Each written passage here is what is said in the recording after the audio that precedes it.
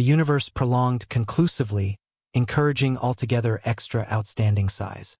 After this era, it endured to grow, however, at a more sluggish rate, ultimately converting into the universe we observe today.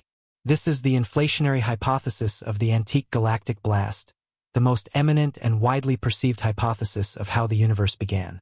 However, for some physicists, this head speculation does not precisely portray the motion of our universe. They propose that the universe existed earlier than that point, extending on and on into the past as well as into the future.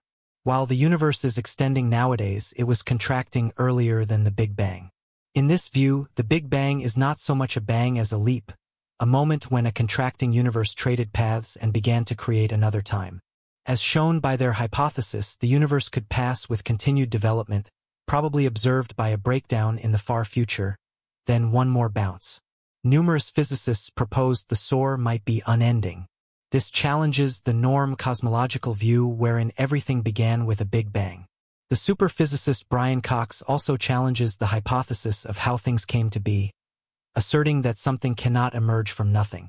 Adding to the stress, the James Webb Telescope has made startling revelations clashing with the idea that the Big Bang can be considered the beginning of the universe.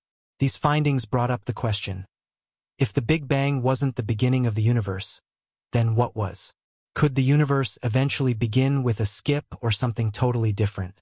The idea that the universe had a beginning, or a day without a yesterday as it was initially known, returns to Georges Lemaitre in 1927. While it is an imperfect situation to suggest that the universe possibly had a beginning, that period of galactic history has little to do with the hot enormous bang that depicted our underlying universe. However, special area specialists and even a minority of experts still stick with the conviction that the Big Bang marks the very beginning of everything. All things considered, the definition is obsolete. The Big Bang is not the presentation of life as we might be aware of today. In fact, there is much evidence highlighting a non-solitary beginning of our universe. We never arrived at these conclusions based on no evident endpoint or high temperatures. Our universe is best described through an inflationary period that occurred before the Big Bang. The Big Bang is the result of what happened towards the consummation of advancement. Throughout development, the universe was totally void. No particles, no matter, no photons, just void space. Space itself was packed with an enormous quantity of energy at every region. This energy changed over time, extending in a quick and determined fashion. As the universe prolonged, those changes loosened up to larger extensions while new limited-scale changes were made to top them. This superposition of instabilities across scales is a characterizing detail of cosmological extension. It might end for arbitrary reasons not planned. If you lived in an expanding universe, you'd likely encounter nearby regions where augmentation reached a conclusion, or the area amongst you and them prolonged emphatically. In brief, you could strive to understand what happens towards the beginning of a colossal effect.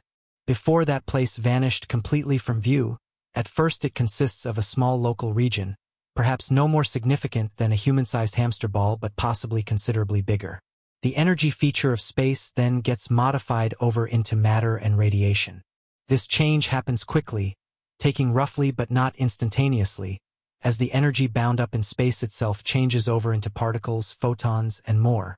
The temperature quickly augments from only a few degrees above absolute zero to perhaps around 20 Kelvin over the same short time frame. Due to the giant measure of energy changed, everything moves close to the speed of light. All particles act as radiation with massive energy, whether they're massless or large. This change is called reheating, marking the end of development and the beginning of the stage called the Hot Big Bang. As development proceeds, you'll witness a vast change from all preceding situations.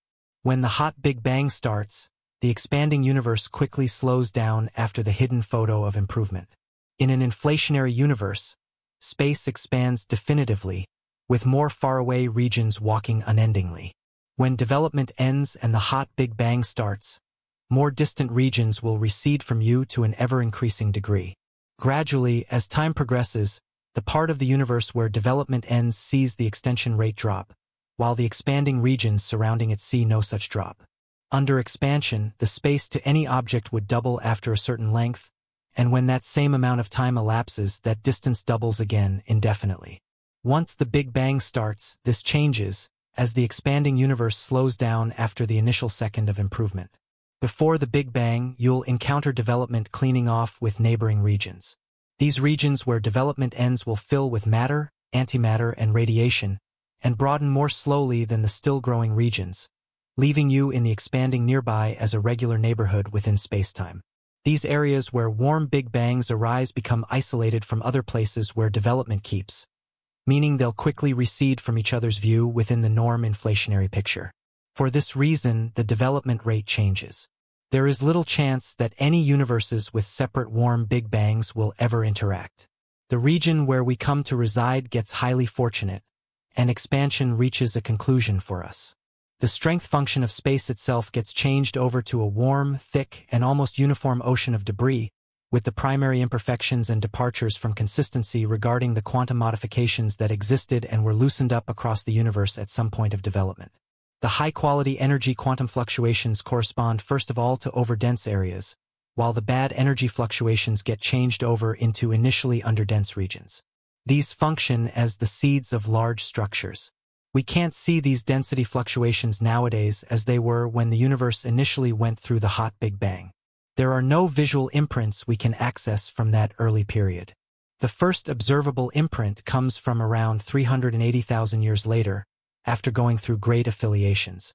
Although we can extrapolate back to recognize the initial density fluctuations, finding something consistent with the narrative of galactic development, the temperature fluctuations are engraved in the cosmic microwave background, CMB, providing evidence of how the Big Bang began. However, there are many inconsistencies between the CMB and our current model of cosmology. We are missing something, and these may be summarized in four inconsistencies. First, on particularly large scales, the universe is not behaving as expected. The light from the CMB is being lensed by matter between us and the CMB. This means matter acts like a giant lens, bending and changing the amplitude of the light behind it. The volume of this lensing is not consistent with our current model, representing a tremendous challenge for cosmology. Secondly, the two sides of the equator of the CMB sky have different common temperatures, conflicting with the expectation of uniformity within the universe's earliest stage. The assumption that the universe should have begun reliably leads to numerous inconsistencies. Third, the value of the Hubble constant, which describes how fast the universe is expanding, changes depending upon whether we measure it from the cosmic microwave background, CMB, or from neighboring stars. Together, these irregularities suggest we are missing something important in how we interpret the universe. One proposed solution comes from loop quantum cosmology, which originates from loop quantum gravity. In this framework, gravity itself is made up of particles called quanta, shaping the fabric of existence. In loop quantum cosmology, there is a smallest scale of space, the Planck scale, or 1.0 by 10 caret minus 35 meters. This means that the Big Bang could not exist in a universe defined by this theory. Instead, the universe could never reach an infinitely small dense point near the Big Bang. In loop quantum cosmology, when the universe was very small, quantum corrections predicted a repulsive force causing a bounce instead of a singularity. This indicates that our universe might have originated from a previous universe that shriveled and then expanded once more, similar to a phoenix rising from the ashes.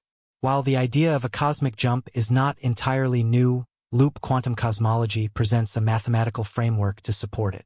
Cyclic time, like the concept of a cosmic leap, is also found in Hindu cosmology, adding further weight to this concept.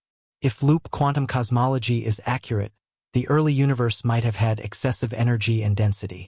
This condition would alter the CMB, appearing as slight differences in temperature across the sky. These variations, measured through the best power spectrum, could provide significant evidence of the universe's foundation and support the possibility of a leap.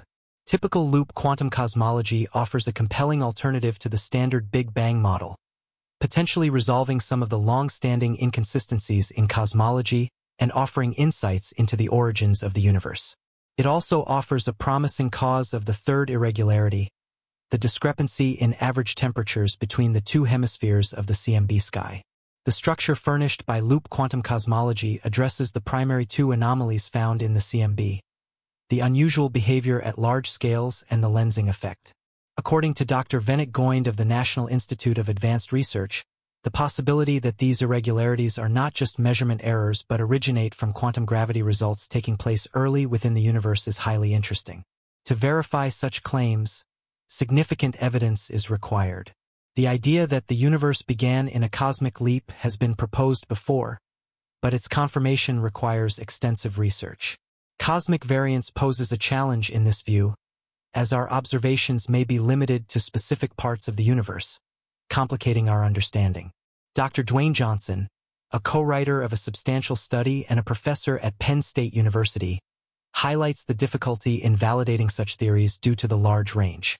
However, the incorporation of new possibilities like loop quantum cosmology and its significant implications holds promise in resolving specific cosmological issues. Despite these improvements, a significant question remains. Did the universe have a beginning at all?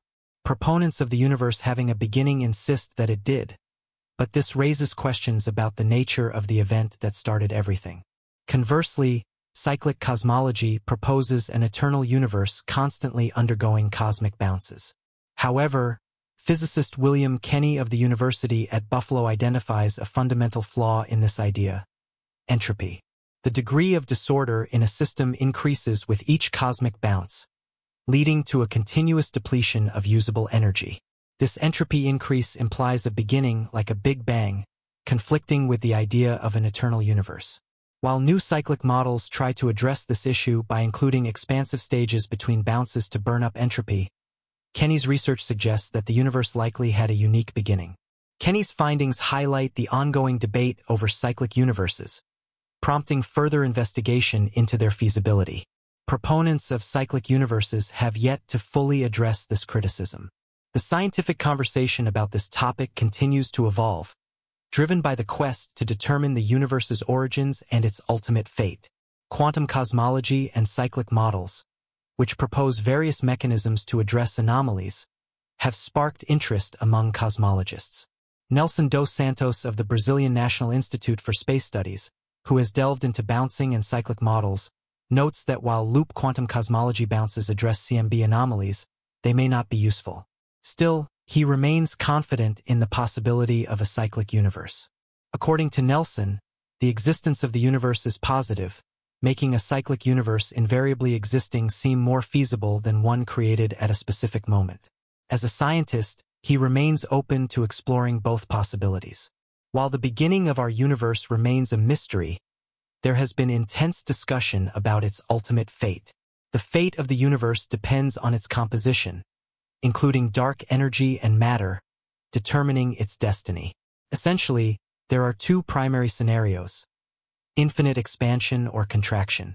In one scenario, the universe expands indefinitely, with stars eventually exhausting their fuel, leaving behind stellar remnants like white dwarfs and black holes. But the fate of the universe depends on the nature of dark energy, a mysterious force driving the universe's growth. If dark energy remains constant, the universe's expansion accelerates, leading to a cold, dark big freeze as matter disperses and entropy increases.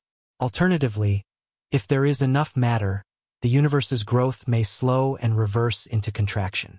This scenario leads to the possibility of a cyclic universe model, where the universe undergoes cycles of expansion and contraction, never reaching infinite density or a specific beginning.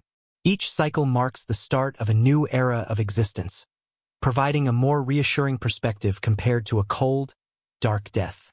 Regardless of the universe's fate, our presence at this unique moment is remarkable. It signifies our unique role within the universe and the critical role of knowledge in deliberating the universe's vastness and its inevitable reality. As we ponder the universe's nature, we are compelled to consider the meaning of our existence and the transient nature of time itself. Thank you for paying attention to this episode. Your support drives us to deliver high-quality content, and we appreciate your feedback on today's topic. Stay tuned for future episodes by subscribing and spreading the word. Until next time, keep exploring the mysteries of the universe.